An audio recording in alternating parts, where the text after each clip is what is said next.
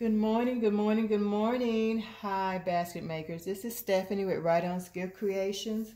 I am coming back with a video. I am doing some bows today, and I want to show you the, the, the gadget that I use. Now, this is called the Deluxe EZ Bow Maker. I love this gadget. I love it so much. I use it for every bow I make. Small, large, medium, doesn't even matter. Um, this is a great tool to have for those who suffer with arthritis in their hands. Also, those who just starting out um, making bows. So I promise you it's great investment to have. Um, I got this at Amazon about three years ago. Um, and I, I, really love it. Um, it comes with a ribbon holder also three pegs. Now these pegs are kind of wide because it's an old, it's old now. Um, but it'll widen it up as much ribbon that you put inside of it. It has a ruler to measure um, your loops and your tails. So um, yeah, so let's get started. What you need, you're gonna need a pipe cleaner. Now what I do with my pipe cleaners, if I just wanna do something jazzy, I take two different colors and I just twist it up. You may, you're not going to see it, but I just like doing it that way. I don't know. So what we're going to do, you have your pipe cleaner here. Need a pair of scissors and some ribbon. Now I have four different types of ribbon here. I have a two inch ribbon that I got from Amazon. This is a beautiful uh, Valentine pattern. I have a one inch ribbon that I got from Dollar Tree. It was it was original price $5. I got it for 125 Also, I have two ribbons I got from Sam. I got a, a two, in, a two and a half inch candy stripe ribbon. Beautiful ribbon from Sam's. And also a solid red ribbon. It's kind of shiny. These are like Christmas ribbon, but you still can use it for Valentine's Day, of course. So what we're going to do first is we're going to take our pipe cleaner and we're going to stick it in between the two taller uh, columns. I'm going to call them columns, okay? Put them here. And you want to get it out your way, so I just tuck, tuck it under. Okay, and I'm going to show you why we put the pipe cleaner there first, okay? So what we're going to do, we're going to work with the, the base. So I'm going to use the solid red color first. I'm going to put it into the spool holder here. And I always ducktail. Now you're going to notice um, I'm left-handed like I, I, think I told you guys before, but I'm left-handed. So you, you notice that it's probably going to be I folded backwards. but this is your ducktail. And you, you want to you want to measure it. So I'm going to do it about six inches here. Let's say about six inches my tail. I'm just going to put it here. Now you can make your tail as long as you want.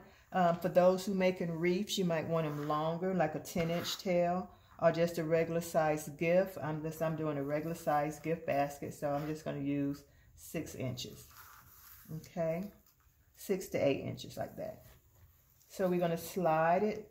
Um, and also this ribbon is double-sided. So it's the same pattern on both sides. So you don't have to do too much twisting.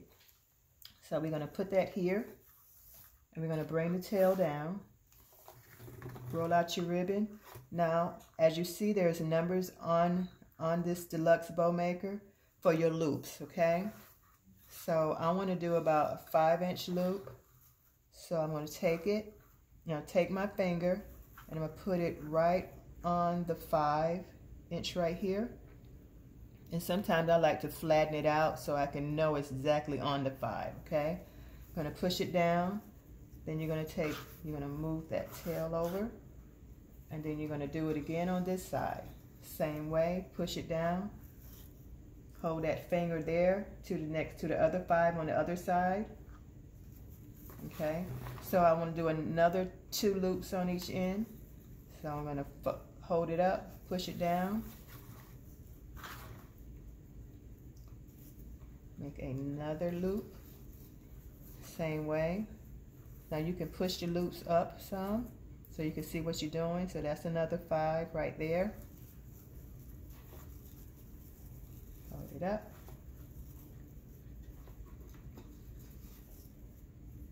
Five again. See that? And then you can just push it up a little. Just move your loops out some, like, like so. And then you're gonna cut. Then again, depends on how many, how big you want your bow. Okay, all right. So that's that pattern. That's your base. Okay. Put my pin back in there. All right. Now we're gonna do the the two inch candy stripe ribbon. I'm gonna put this here roll it out. Ducktail first. That's what I do. You, some people ducktail last, but I like to ducktail first. Okay. I'm going to slide it in. Now this is a one-sided, so you're going to do some twisting here, but not too much. So you're going to slide it down, measure it right here to the other tail. Twist. I'm gonna bring it right to the end of the other one, which is already five. You can push that out the way if you want. Put your finger there, that's a five, okay? Push it down, a twist. Put your finger here again. Make sure that's five inches right here five, five inch loop right there. Okay. Bring it up, push it down. I'm going to make another loop. Okay. I'm going to measure the same way. About five here. It looks about five. It might be four but I want it to be five. So I'm gonna bring it back out with my finger here. Yep, it's five. Push it down. There we go that side. It's about five. Okay, you don't have to be precise too much. The bow is gonna look very good once you finish with it. What you see I'm doing, I'm just trying to make sure it's proportion. Okay. cut. My left-handed self, huh? You know President Obama was left-handed. I thought it was a cool thing. So many of us are left-handed out here. Who do you know that's left-handed in your family? Anyone is in your family left-handed? My mother used to say I owe someone a day's work. I don't owe anybody nothing. I'm retired. That's too funny. Okay, so next I'm going to use the 2 inch, uh, I mean the 2 inch um, Valentine type print. Again, I'm going to ducktail it first. And this will probably run out to about 4, four inches four inch loop. But I'll make the tail about the same. And push it down. As you see, this is a good side, bad side. So this is the one-sided ribbon. And push it down. I'm running out of this ribbon. So this will probably measure out to four. Right here. Push it and twist. Way.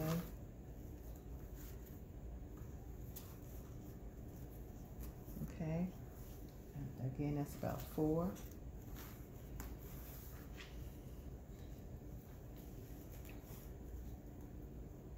Yeah, okay. Look at that. It's looking good already, huh? Looking good already.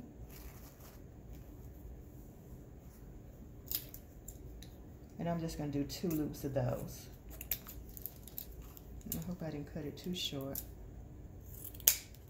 this is for demonstration purposes. Okay. You can fluff as you go if you like. It's up to you.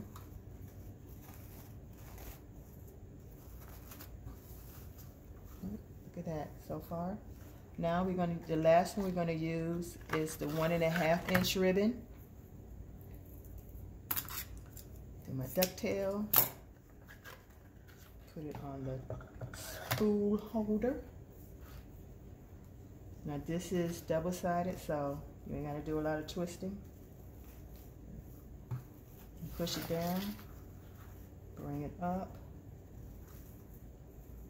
Probably try to measure to the four as well. Push it up. Push it in.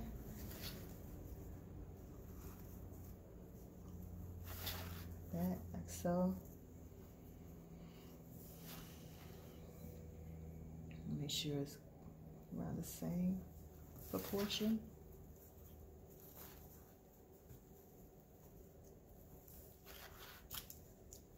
Dovetail that. Boom. Okay. And that is your ribbon.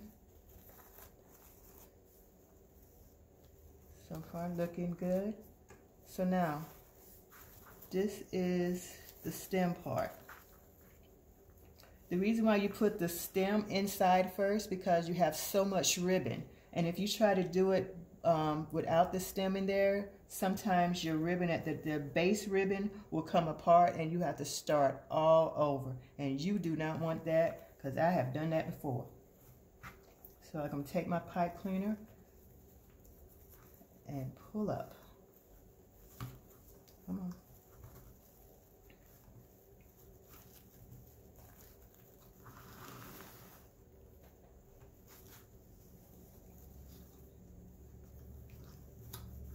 push it down. Make sure you got all your ribbon. And there you go, you have all the ribbon. So what I'm gonna do is flip it over and tie it real tight. I like to just press it down on the on the table and just twist it myself like that. You see my ribbon came apart. I mean my pipe cleaners came apart. You want to twist it. Turn it back over and fluff.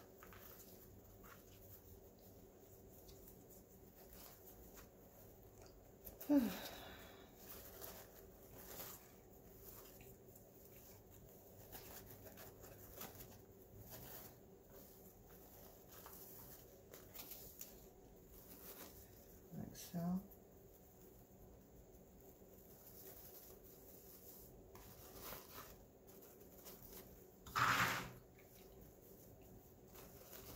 and you can like take your good to have a wired ribbon and you just take your hands and just fold it under like so. That's what I like to do. Take my fingers fold it. Make sure you fluff it out very well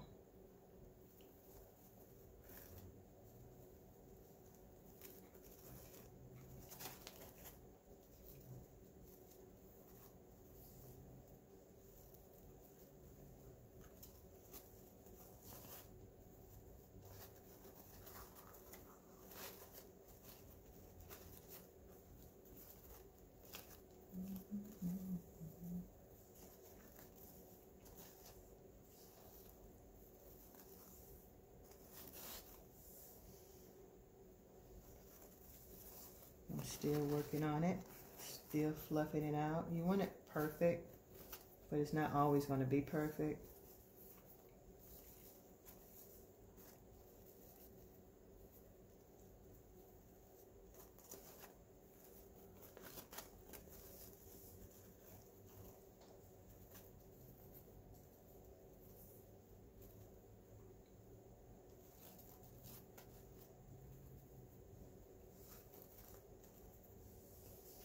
there you go.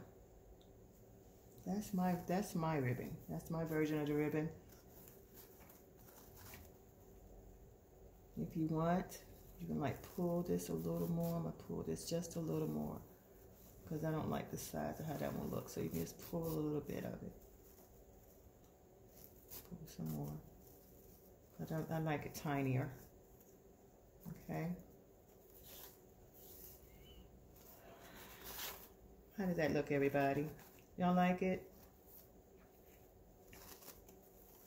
And there you go. I'm going to cut this some more. I always try to measure the tail. I always try to put the tail right beside another tail.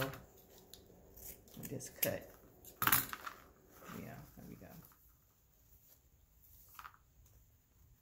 And there you have it. Really simple, really easy to use. Um, not hurting your hands so much. Not hurting your hands at all, actually. The bow maker does everything for you. You don't have to struggle or, or uh, be in pain or anything. So there you go. That is a nice Valentine Day bow. So I hope you guys like this video. Please continue to watch. Um, if you have any questions, put in the comments. I try to answer as much questions as I can. I appreciate all the comments and I appreciate all the subscribers that are subscribing to my channel. Um, blessings to you all. So until the next video, talk to you guys later. Bye.